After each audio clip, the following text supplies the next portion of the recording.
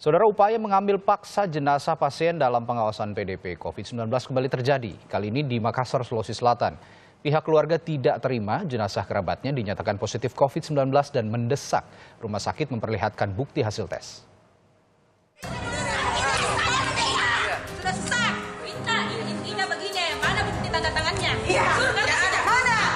Adu mulut antara pihak keluarga pasien PDP di Rumah Sakit Islam Al Faisal, Kota Makassar, Sulawesi Selatan dengan seorang perawat terjadi saat pihak keluarga mendesak rumah sakit untuk memperlihatkan bukti hasil pemeriksaan pasien yang dinyatakan PDP COVID-19.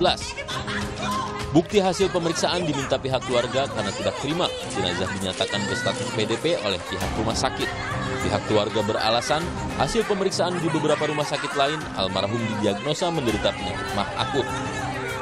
Kericuhan terjadi saat sejumlah petugas kepolisian dari Polrestabes Makassar menangkap dua orang dari pihak keluarga yang terus bersikeras dengan meminta kepada petugas rumah sakit untuk memperlihatkan bukti hasil pemeriksaan pasien hingga dinyatakan PDP. semacam uh, pemaksaan untuk uh, mengambil keluarga maka kami dari pihak keamanan mencoba untuk mengambil suatu tindakan yang mana mengamankan uh, keluarga yang mencoba memaksakan uh, kehendak. Ada yang diamankan Pak ya?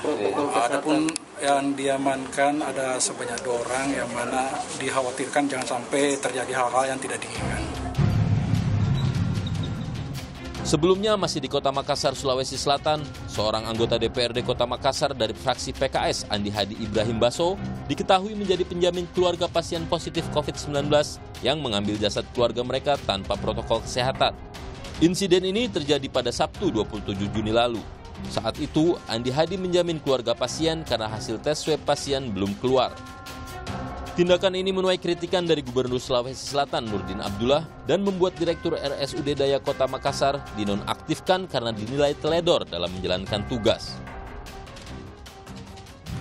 Jadi ini juga pengalaman Pak, jangan kita selalu menjamin. Ya, padahal ternyata hasil swab dia positif ya. Jadi saya kira pengalaman berharga bagi kita. Makanya oleh wali kota PJ wali kota langsung menonaktifkan ya. Tapi saya cuma bilang itu nonaktif hanya boleh seminggu Pihak kepolisian Polrestabes Makassar juga ikut menggelar penyelidikan terkait kasus pengambilan jenazah positif COVID-19 di RSUD Daya. Para pelaku kini diperiksa dengan status sebagai saksi. Kasus pengambilan paksa jenazah di Makassar sudah sering terjadi. Para pelaku umumnya langsung diminta menjalani uji COVID-19 dan 39 di antaranya telah berstatus tersangka.